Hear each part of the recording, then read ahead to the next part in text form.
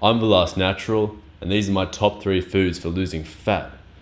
Before we begin, we need to discuss the most important rule to fat loss calories in versus calories out. It really doesn't matter what you eat actually to lose fat. As long as you're eating in a calorie deficit, meaning more calories going out than in, you're going to lose fat. And actually, it really doesn't matter what you eat. You can eat cheeseburgers and fries, or you can eat salads and bananas.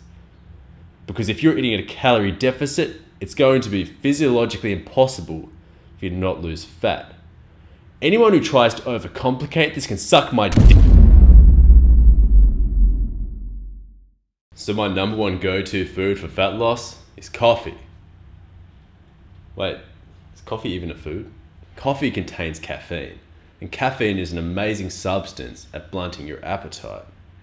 And to a certain extent, drinking coffee will even fill you up, especially if you're fasting. If you're one of those people that doesn't like coffee though, and doesn't like the feeling of it, I respect that. Although I don't trust you. I can't tell you how much I love coffee, but I can show you.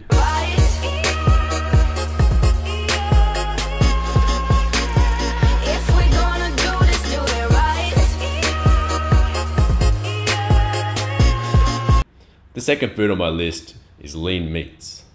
Guys, it's no scientific secret that lean meats are associated with high satiety. And really, this list is all about conquering my appetite.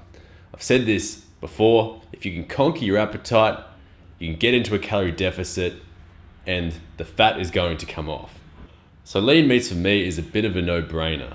And obviously, lean meats are high in protein, and protein is obviously needed for building and maintaining muscle. The third food on my list is tables. Vegetables. Vegetables. Vegetables are good for losing fat because they're high volume, low calorie foods.